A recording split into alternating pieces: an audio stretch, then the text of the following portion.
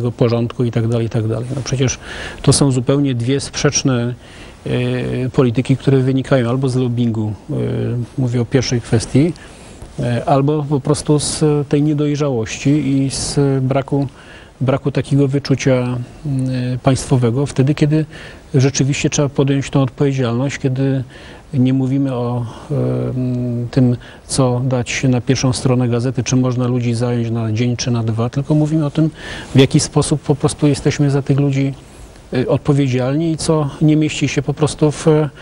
w sferze, powiedział, tej polityki y, medialnej, tylko jest polityką konkretu, a tej polityki konkretu dzisiaj nie ma. Co premier tak się denerwuje, skoro, jeżeli się nie mylę, Kozanów, to wrocławska dzielnica, która została zalana, budował chyba y, wic- minister, y, obecny minister kultury, Bogdan Zdrojewski, gdy był Tam prezydentem. formalnie, y, według przynajmniej tych informacji powiedział, medialnych, tam by, były, były takie, takie sygnały, iż y, po 1997 roku tam wydawano kolejne pozwolenia na, y, na budowę. y, Takie są informacje Przez władze samorządowe i gdyś w okresie, kiedy pan minister obecny kultury, pan minister Zdrojewski był prezydentem y, Wrocławia, to zostało dostrzeżone również w trakcie tego, co się działo w, we Wrocławiu w tym roku. E, Do tej dyrektywy powodziowej, e, panie ministrze, którą nie zajął się rząd Donalda Tuska, e, to jest zaniedbanie tego rządu. Miał obowiązek Znaczy to jest e, fundamentalne e, zaniedbanie, dlatego że em, mówimy tutaj o takim e, obszarze działań e, państwa, e, które jest również związane z realizacją inwestycji tych przeciwpowodziowych, a żeby móc je podejmować, to trzeba przede wszystkim najpierw przeprowadzić tą gruntowną ocenę terenów narażonych na niebezpieczeństwo w takich sytuacjach jak, jak powódź. I temu służą te dokumenty planistyczne, jak ta wstępna mapa ryzyka powodziowego dla obszarów do rzeczy, później ta mapa numeryczna dla terenu całego kraju do 2013 roku, tego przecież e, tych prac po prostu się nie, nie, nie podjęło. I kwestia, że tak powiem, e, bardzo szczegółowego przygotowania programu zarządzania tym ryzykiem i ewakuacji w sytuacjach takich, kiedy potencjalnie w przyszłości by e, taki fakt e, zaistniał. Podkreślam to e, właśnie tutaj e, dzisiaj w, w programie, że nikt w tej sprawie z przedstawicieli rządu nie zająknął się po prostu, że tego rodzaju zaniedbanie zostało, zostało niewykonane. Za- Po prostu, że, że, że nastąpiło i e, to ma oczywiście pośredni wpływ na to, co się działo, ale jeśli byłaby ta e, ta, em, e, można powiedzieć, ten akt prawny wdrożony w, w, w, w Polsce, to przede wszystkim można by mówić o tym, że inwestycje w zakresie infrastruktury środowiskowej w tej części, można powiedzieć e, w cudzysłowie, wodnej, no są, bym powiedział, dobrze umocowane, jeśli chodzi o, o, kwestie przepisów e, prawnych i wynikają z jakiegoś programu działań e, rządu, który wykracza, że tak powiem, poza kwestię jednej e, czy nawet dwóch, e, dwóch kadencji. A mieliśmy do czynienia z sytuacją taką, w, którą, w której potraktowano,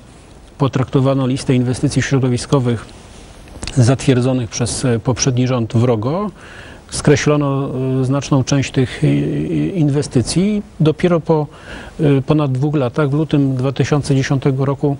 pojawiła się nowa lista inwestycji e, i można tylko powiedzieć tyle, że zmarnowano, zmarnowano, że tak powiem, e, e, czas niezbędny dla przygotowania po prostu i finansowania tych prac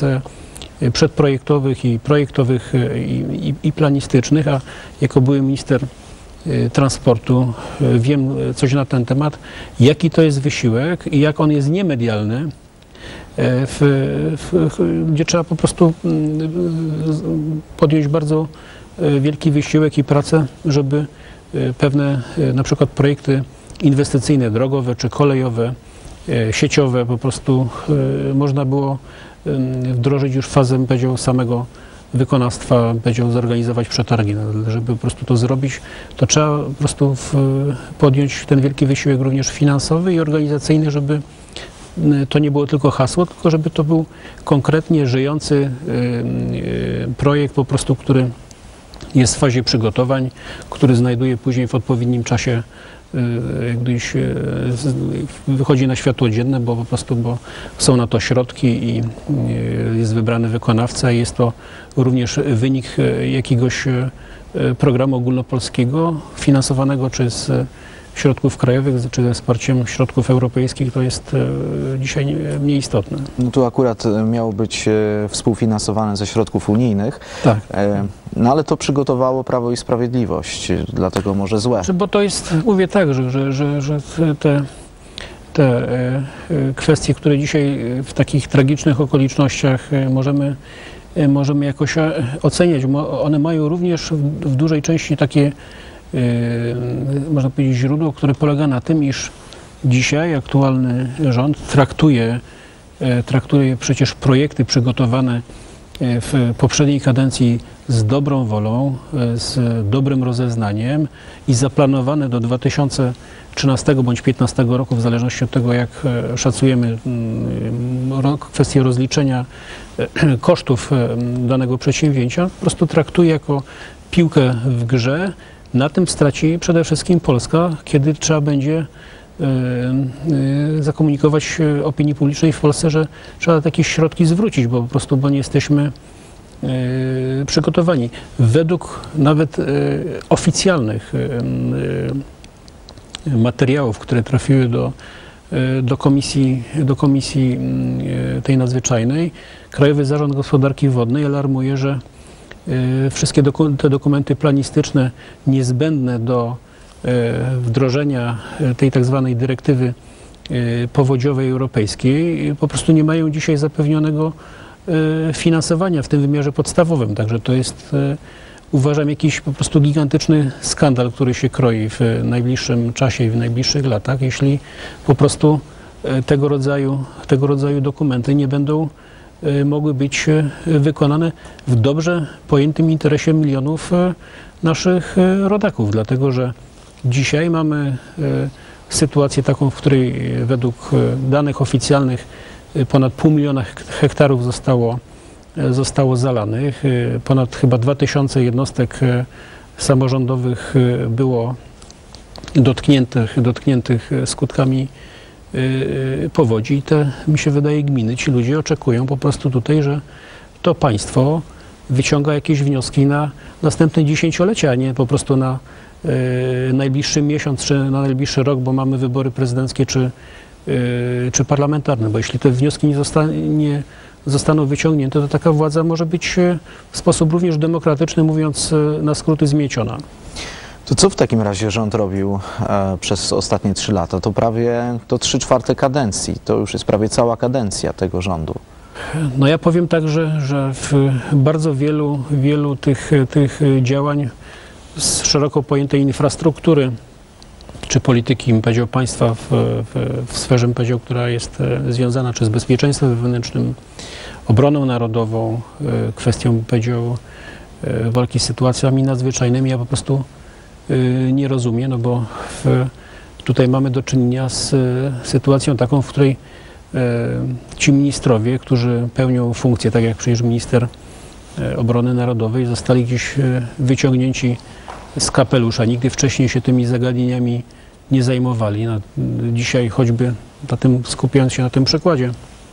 jeszcze można się odwołać do tej tragedii smoleńskiej 10 kwietnia. Przecież nikt się w Polsce nawet nie oddał do dyspozycji swoich zwierzchników, e, nie wnikając w, w kwestię, powiedział, winy, nie winy. To jest odpowiedzialność polityczna, e, odpowiedzialność e, za państwo, za bezpieczeństwo również przedstawicieli najwyższych władz państwowych czy pa, parlamentarnych. Nikt się nie podał do dymisji. Wszyscy uznają, uznali, że e, nad tym można przejść do porządku dziennego w sytuacji takiej, w której ta tragedia nie ma precedensu w historii e, międzynarodowego lotnictwa e, cywilnego i nigdy w historii Polski nie było e, takiego wydarzenia, w którym również e, zaniedbania po stronie władz państwowych, a w każdym państwie e, służby odpowiedzialne za bezpieczeństwo podlegają strukturze rządowej, a nie parlamentarnej, czy nie, nie są przecież struktury podległe kancelarii prezydenta. I te, te po prostu fakty, one, one dzisiaj nie, nie- nie będą przykryte żadnym dywanem, dlatego że opinia publiczna będzie w Polsce twardo domagała się, domagała się wyjaśnienia tych kwestii. Sam jako y, parlamentarzysta, były minister, y, w tym tygodniu rozpocząłem cykl inter, Interpelacji. inter, interpelacji adresowanych do premiera po to, żebyśmy się w ogóle na przykład dowiedzieli, kiedy w Polsce, w jakich okolicznościach, w jakim trybie została podjęta e, decyzja o wyborze takiej, nie innej drogi prawnej, jeśli chodzi o badanie katastrofy smoleńskiej, gdzie mamy z jednej strony porozumienie ministrów obrony, w- jeśli chodzi o formułę na przykład wyłącznie wspólnego badania, wspólnej komisji polsko-rosyjskiej, jeśli chodzi o katastrofy i cynety lotnicze, wybiera się w taką formułę, w której jesteśmy tylko obserwatorami jakiegoś postępowania wyjaśniającego przyczyny tej katastrofy. Nie, nie jesteśmy, że tak powiem, tymi y, uczestnikami tego postępowania, nie trzymamy tego przysłowiowego, ja to określam, pióra razem z e, partnerami z Federacji e, Rosyjskiej. Także